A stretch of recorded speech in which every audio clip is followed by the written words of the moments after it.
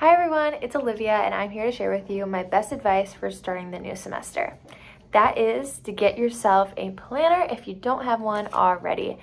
I literally don't know what I would be doing if I did not have a planner. It helps me keep so organized and what I do is I start at the beginning of the week and I write down in checklist form all the assignments for all of my classes and I also write down any events or work, anything like that on here too. That way I can keep everything on track and it doesn't seem so overwhelming. Anyways, I hope to see you guys around campus and have a good semester.